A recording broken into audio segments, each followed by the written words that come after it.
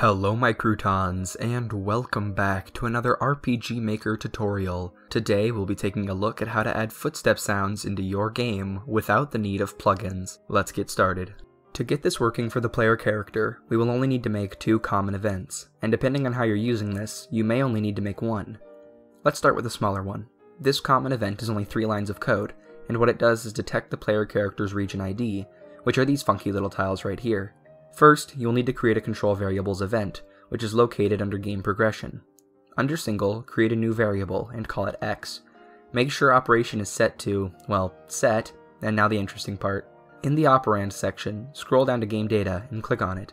Now go down to the character section and set it to player, and then in the box right next to it, set it to map x. What we have just done is set variable x to store the player's x position on the map at any given time. But a map isn't just side to side, it is also up and down, so we will need to store the y variable as well. This is basically the same process as x. Create a control variable event, and make a new variable under single and call it y. Make sure operation is set, and go into game data once again. We will want to set player in the character section, but this time, instead of calling the map x, we need to call map y. Once you've done that, click OK. Now for the last step of this common event, create a new event command. Go to the third tab and under Map, click on Get Location Info. Create another new variable and call it Region ID. Under Info type, set it to, well, Region ID, and then under Location, click Designation with Variables, and set X to our X variable and Y to our Y variable. Click OK, and boom! We've now set our Region ID variable to constantly store the player character's Region ID. Good job! Now we just need to put that into action. Create a new common event, and get your brain ready. This isn't too difficult, but there is quite a bit of code. Depending on how many different types of terrain you have on one map, you can code this differently, and if you're only using one type of terrain, then you don't even need our detect region ID common event. Anyways, let's get coding. Create a conditional branch and set it to check if variable region ID equals a constant of 0, or whatever region ID you're using. Click OK, and inside of that conditional branch, create another conditional branch. This time, go to the fourth tab, and in the script section, write in this line of code. This will check to see if the player character is actually moving, because you don't want there to be footstep sounds when you're standing still. Inside the first part of our common event, create a control variables event. Create a new variable under single and call it footstep sounds. Set operation to set, and then under operand click random and set it from 1 to 2. Doing this will allow us to slightly change the pitch of our footstep sounds at random to give a more organic feel to the game, or you can just have crazy random sounds play, whatever you like. Right underneath that, create yet another conditional branch. Set it to check if our footstep sounds variable is equal to 1, and then create an else branch. In the first section of this conditional branch, call whatever sound effect you'd like. I found that it's better to use sounds that only have the noise of one footstep instead of two, so using the built-in move sounds is highly discouraged. Once you've found a sound you like, move on to the else section of this conditional branch. Create one more conditional branch, and this time, make it check if our footstep sounds variable is equal to 2. Now you can just plop in another sound effect. But what I think sounds really nice is if you take your previous sound effect, only this time play it with a slightly increased pitch. For the last bit of this section, create a wait event outside of the conditional branch that is checking for the footstep sounds number. The amount of frames you need to use here varies on the sound you're using. For me I use 22, but it will definitely take some trial and error to get this right. Ka-chow! Just like that, we're done with our first chunk of this line of code. Now, time to check if the player is dashing. Outside of our player moving conditional branch, create another conditional branch. Again, go to the fourth tab, and under script, type this line of code.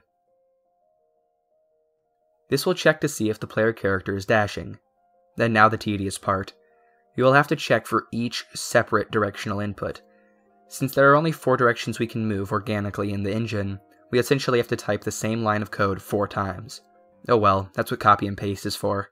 Inside of our player dash and conditional branch, create another conditional branch. Go to the fourth tab, and in the button section, have it check if down is pressed. Please note that I've only tested this with arrow key movement. Check create else branch, and click OK. Now for this part, you can copy and paste our footstep sounds code from before. The only thing you need to change is the wait command. Make it a shorter amount of time, I use 10, so that the sounds play faster, because we're dashing this time. Now from here on out, we can just copy and paste code for each different direction, and then if you only have one terrain tile, just add one more wait command at the end of this code, and boom, we're done. Based on the region ID you set at the start, paint over your map in the sections you want these sounds to play. If you set the region ID to 0, the sounds will just autoplay over the whole map.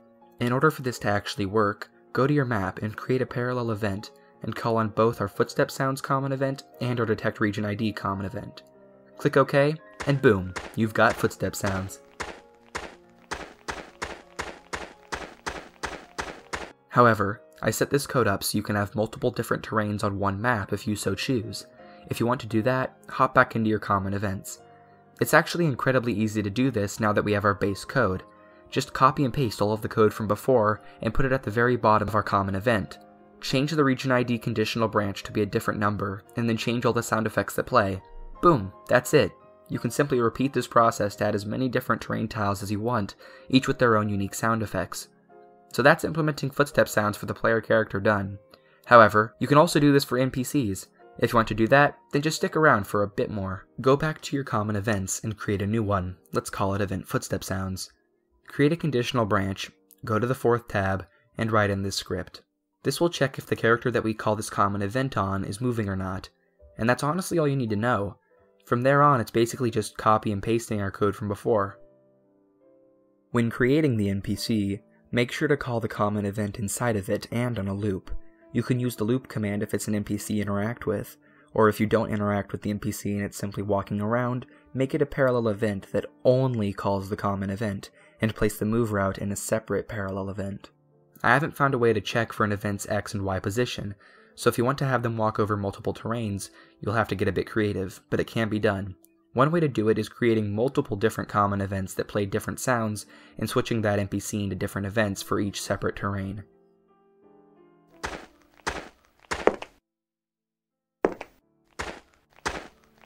But that's all for this tutorial. I hope this helps you my croutons. I know it's been very nice to have a custom built system in my game, and hopefully it's very nice for your game as well. Best of luck with your games, and I'll see you in the next video. Goodbye.